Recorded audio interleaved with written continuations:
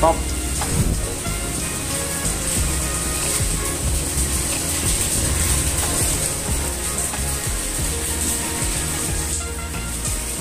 topnya kalau di magnet itu yang coakan ini lurus dengan ini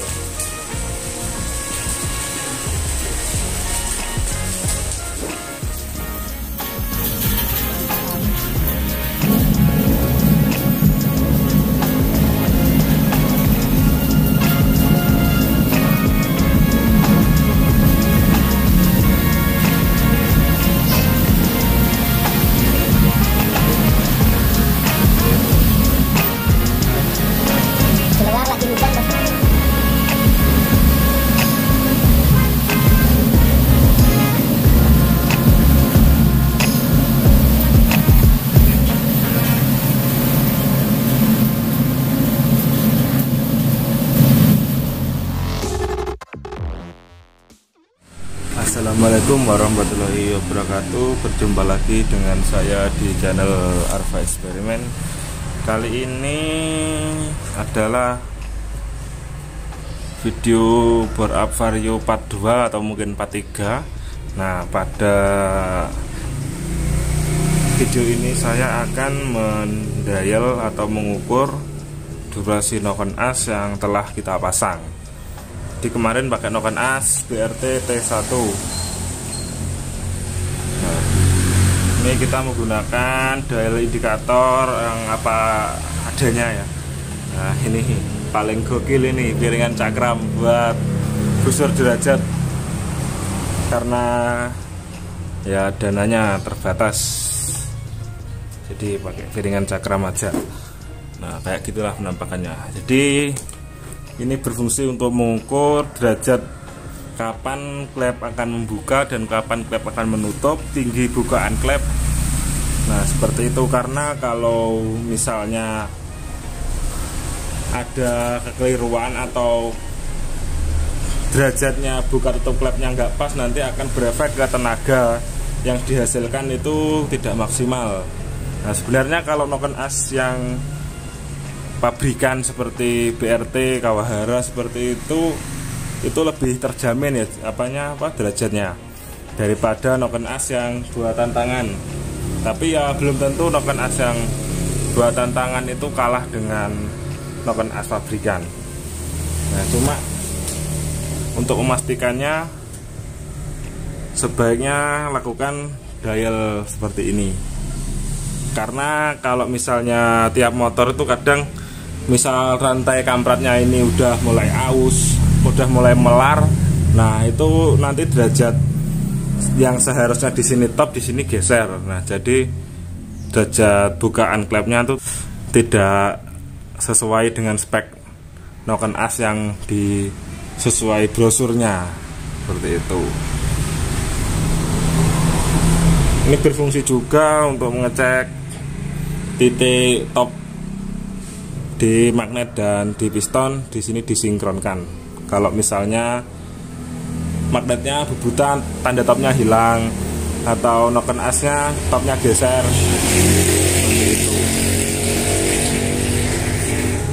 Oke, langsung saja kita ukur. Jadi di sini TDC ini top ya, top di sini TMB, ini TMA ini TMB. Nah, nanti mutarnya ini sesuai dengan derajat apa mutarnya mesin. Jadi mesin mutarnya kan ke sana ya ke depan. Nah ini mutarnya juga ke depan. Nah nanti kita akan ukur durasi clap in dulu in yang atas X yang bawah. Kita ukur mulai titik 001 dengan titik 1 mili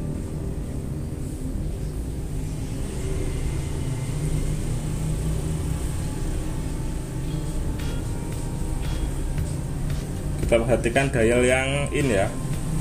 Yang X biarin aja diukur yang nanti aja.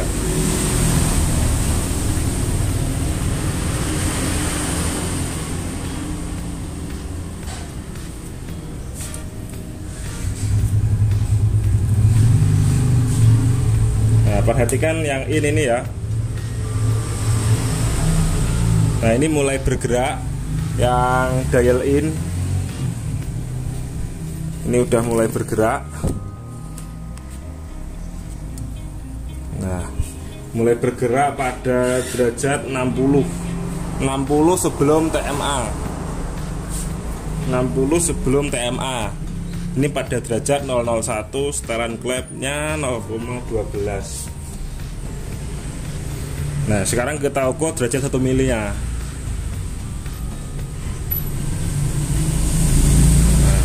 Ini jarum sudah berputar satu ya. Pada ini liftnya satu. Nah pada 1 mili terukur. Ini 14 13 lah. 13 13 derajat sebelum TMA Klatup in membukanya sedangkan pada 0,01 nya tadi 60 derajat. Jadi RAM-nya sangat panjang Noken AC jadi karakternya mungkin nanti karakter Noken AC suaranya halus ya. Karena RAM-nya panjang. Nah RAM itu seperti apa ya? Proses titik di mana dari 0,01 ke 1 mili. Ini pada derajat innya udah ketemu in bukanya. Sekarang kita ukur liftnya jadi ini liftnya satu mili ya yang jarum kecil lah nggak satu ini. Dua tiga empat lima enam tujuh.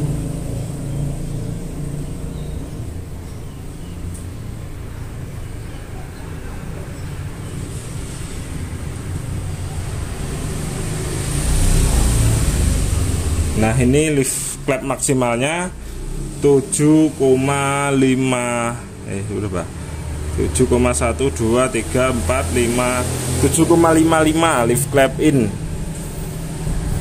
Pada setelan klep 0,12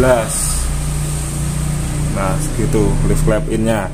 Lift clap tuh kalau yang belum tahu seberapa tinggi bukaan klep di lift clap itu tinggi bukaannya ini ya digantikan klep membuka ya. Nah itu tinggi bukaannya itu istilahnya lift clap biasanya lift clap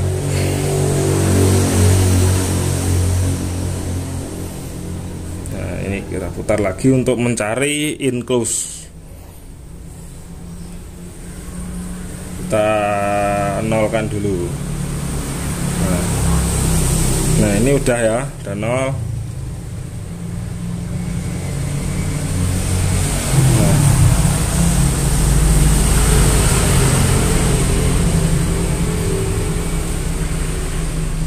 Nah inclose-nya lumayan banyak sekitar berapa ini?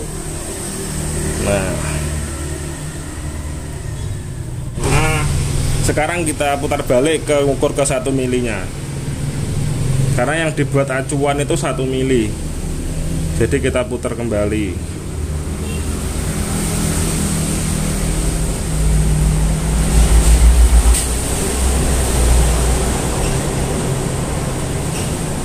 Nah kalau di satu mili itu ada di 50 50 derajat. Jadi total durasinya tadi ketemu 13 13 ditambah satu, apa setengah putaran askrup karena ini perbandingan rasionya ini dua banding satu ya. Jadi 13 ditambah 180 ditambah 50 nah itu ketemu durasi clap in nya nah sekarang kita ukur durasi clap out. Nah ini kita kembalikan ke TMA dulu aja.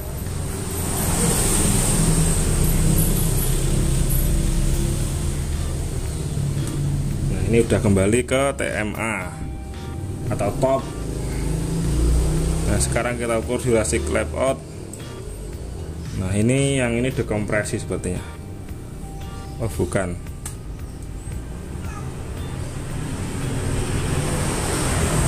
Kita ukur mulai clap out membuka aja. Kita karena biar lebih enak di in apa buka tutup gitu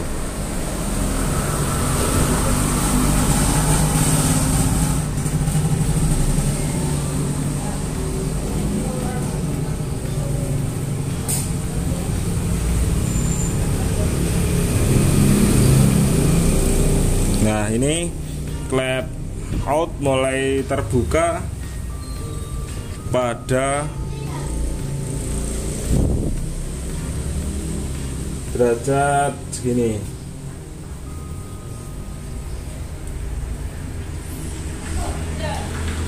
Sembilan puluh sebelum TMB pada titik 001 atau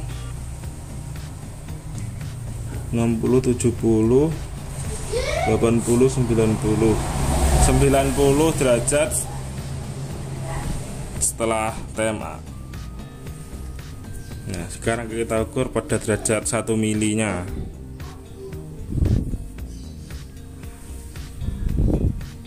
Nah ini udah derajat 1 mili. Nah pada derajat 1 mili clap out durasinya terbuka pada derajat 50 sebelum TMB nah sekarang close nya eh lift lift flap egg nya dulu ya. Ini tengah-tengah di sini itu 5 mili. 5 6 7 7,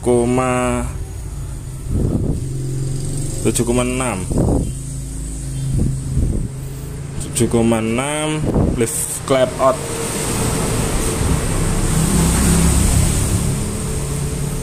Nah sekarang kita cek eklusnya pada 001 Nah, eklusnya pada 001 itu 50 derajat setelah TMA. Nah, pada 1 milinya pada 1 milinya itu. Sekitar 10 10 derajat. Ini ya 10 derajat. Jadi total durasi outnya atau clap X itu 10 ditambah 180 ditambah 50 nah jadi durasinya ini in out itu hampir sama. Nah cuma kenapa berbeda itu dipengaruhi dari kerenggangan setelan klepnya ini. Nah jadi durasinya udah ketemu segitu. Nah kalau noken as yang grinding tangan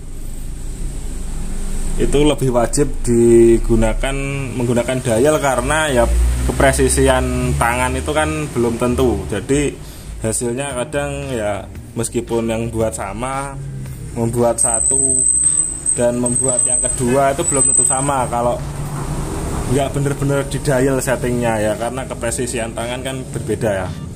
Kalau pabrik kan mungkin cetak jadi lebih lebih paten atau meskipun membuat banyak produk durasinya bisa sama. Nah meskipun pakai copy cam ya hasilnya belum tentu. Nah mungkin itu aja untuk settingan 0,10 dan 0,20 atau 12 0,12 0,20 lah sekitar segitu ya. Itu ketemu durasinya segitu. Mirip-mirip sesuai spek di pabrikan atau di brosurnya Nokon ST1 BRT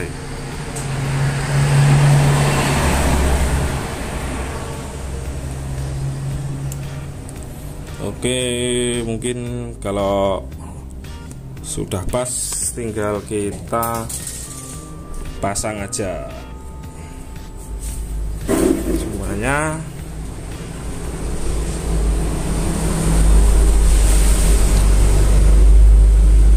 Tinggal pasang butter pump tutup ini. Magnet spool belum pasang ya. Oke mungkin sekian dulu aja